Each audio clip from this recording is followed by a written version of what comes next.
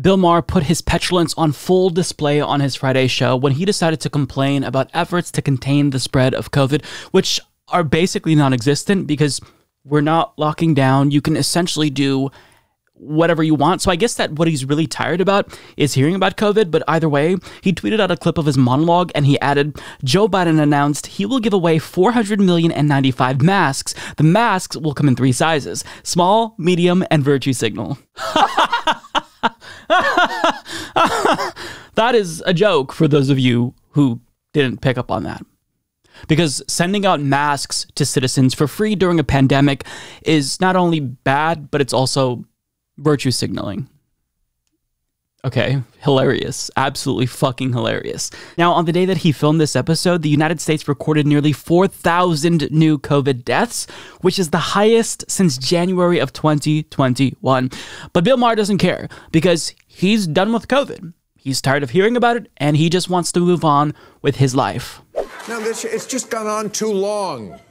Nobody cares anymore. The, last night, the Grubhub delivery guy was eating my French fries right in front of me. I mean, it,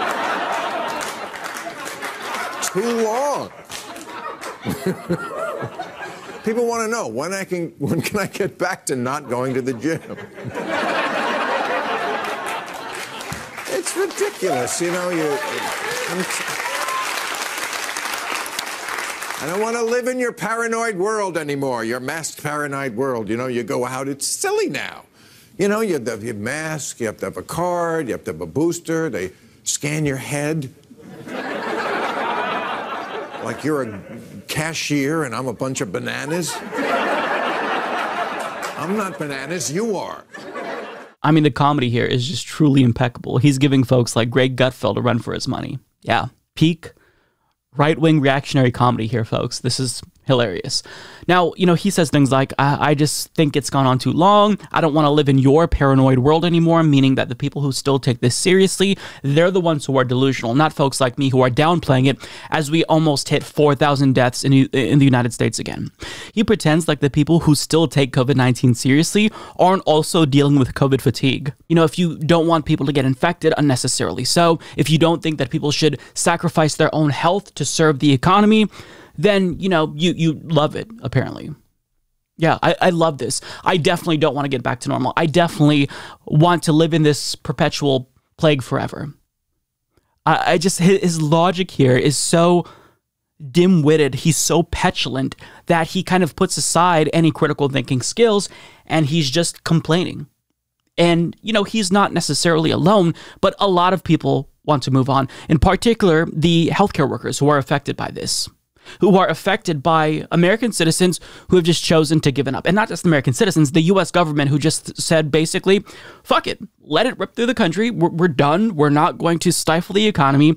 We're just going to force people back to work too early, even if they're still contagious. We're just going to pretend as if it's not a thing. If that leads to another mutation and a new variant that infects the world, so be it. We're done with COVID 19. Even if it gets worse, if a new variant that's more contagious and perhaps worse comes along, we don't care. We're done with COVID 19. So his sentiment isn't necessarily that uncommon, you know, but him and one of his guests, grifter Bari Weiss, was also complaining. You know, she said that she's just done with COVID 19. So I'm going to play a clip of that. But what I want to do is share a clip that Walker Bragman, a journalist who actually is taking COVID 19 seriously, uh, he put together clips of nurses and doctors talking about their experience and how fatigued they are with COVID 19 and juxtapose that with what Bari Weiss is saying.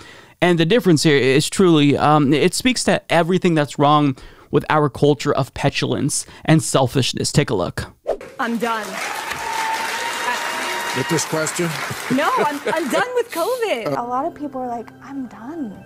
I, I can't keep doing this because it's going to destroy my own health. Oh, I'm done. It's yeah. like I I went so hard on COVID. I sat in that room and I held his hand and I listened to 20 people say goodbye to him. Um and he was just one story out of thousands. I yeah, I remember. sprayed the Pringles cans that I bought at the grocery store, stripped my clothes off because I thought COVID would be on my clothes. The upside is when they go home, but during this, uh, it's hard to put into words, but they may not be with us anymore. See, that's when it all really is let out. Like, I did it all. I watched Tiger King. I got to the end of Spotify. Like, we all did it, right? The worst thing is when we do our ward books in the morning and it's when the amount of RIPs outnumbers the ones that have made it down to the wards.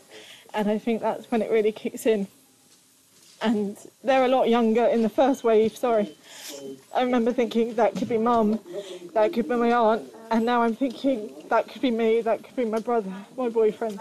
No, we didn't all Okay, do it. well, well, here's the thing. A lot No, of we us, didn't all do a do lot it. of us did do it, and then we were told, you get the vaccine, you get the vaccine, and you get back to normal. I've been an ICU full time for about seven years. The last two, I have been full time through the pandemic, picking up overtime when I can. Uh, and burnout has affected me quite close to home. In uh, November and December, I made the decision that I just, for my own mental health, I had to take a step back. And we haven't gotten back to normal. It's just so awful to take care of the parents of of dependent children who you know they have a five year old or a grade school kid at home or younger. It's, it's awful. And it's ridiculous at this point. This whole I'm done with COVID mentality is specifically why things are so bad. It's specifically why hospitals, once again, are being overrun. And, you know, one of the healthcare officials in that clip stated that. It's because we're, we're tired of being inconvenienced as a society. And I get it. COVID fatigue is a real thing. I'm not saying that it's illegitimate if you too are tired of hearing about COVID 19, but to think that you have it more worse than doctors and nurses who have to bear the brunt of our selfishness, who don't get to choose to just put aside COVID 19 and pretend like it doesn't exist. They have to see this firsthand. They have to deal with the ramifications of our refusal to lock down, right? And I don't understand how there's this sentiment that we can't do anything. You can essentially do whatever you want. You can go to a restaurant, you can go see a movie, you can hang out with friends.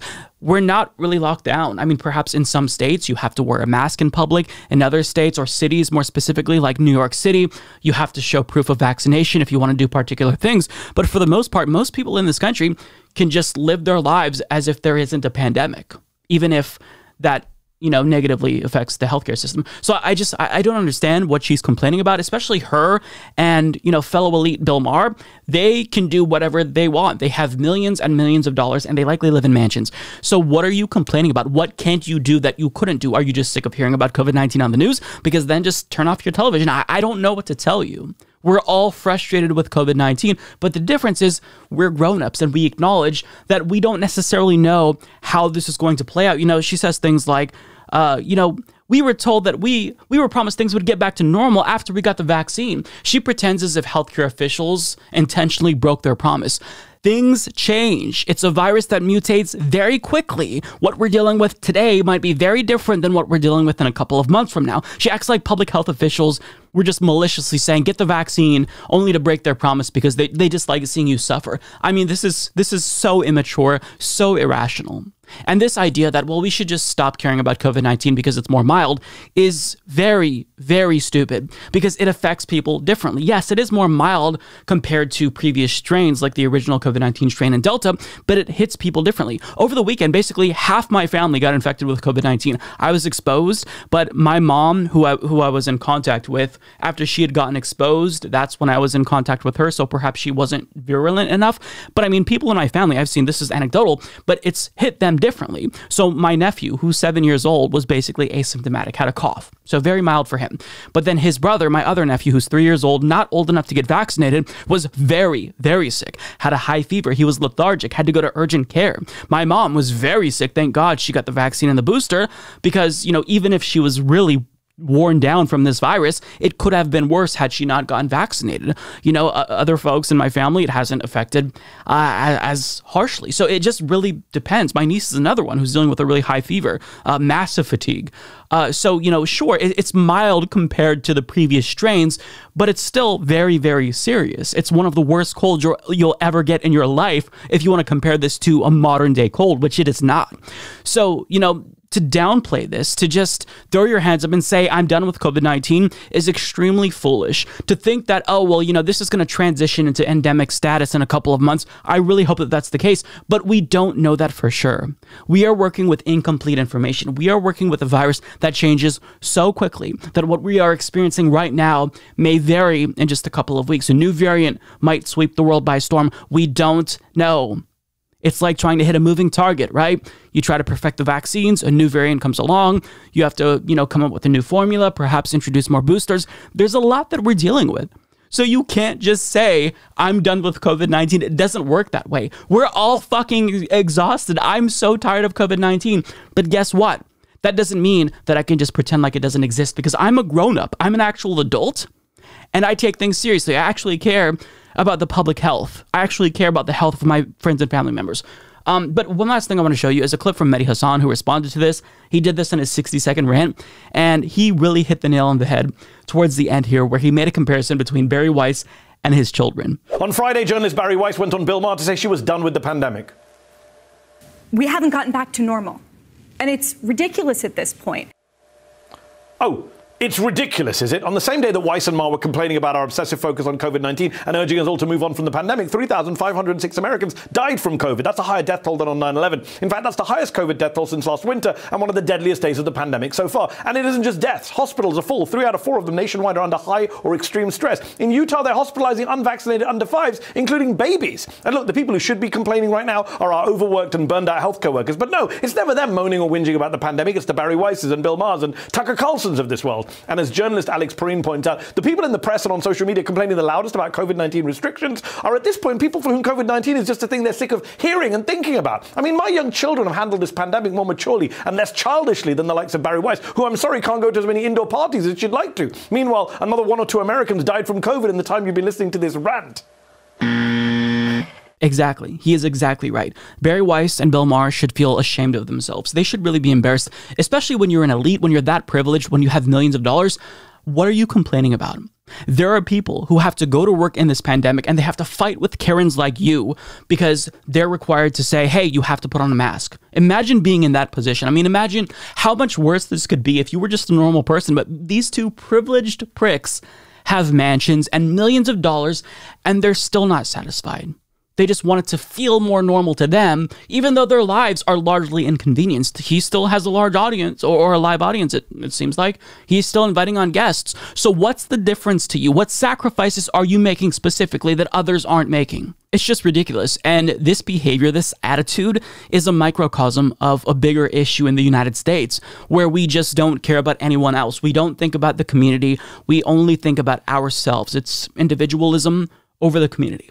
And this is why things like viruses, pandemics are so bad here compared to other countries because as bad as it gets, as much as we see people try to fight lockdowns and vaccine requirements in other countries, it's always worse here. It's why, regardless of how bad COVID 19 gets, we will always be hit the hardest, not necessarily because we're victims, but because we have a population and a government that doesn't care. They choose to allow this to happen rather than protecting the public, rather than trying to, I don't know, actually do something that will save lives and not burden the healthcare system, which people cared about at the beginning, I think, for a week or so. We're just choosing to let it rip. And that's just that's just normal to people in America. We're so brainwashed that we think disrupting the economy, even minimally, that's that's unacceptable. You know, it's get back to work, get back to normal, this is the way it's got to be. Go back to normal as soon as possible, even though what we're experiencing currently is not normal by any means. This is abnormal. This is a pandemic. And it doesn't just go away if you complain loud enough. The pandemic doesn't have ears to hear you complain Bari Weiss. The pandemic will be here so long as it is here, but there are things that we can do to mitigate the spread of the pandemic, which you are going to complain about. So, either way, I mean, Bill Maher and Bari Weiss are just completely insufferable and uh, they deserve to be made fun of because of this stupid petulance that they put on full display, shamelessly so. Ridiculous. You acting like a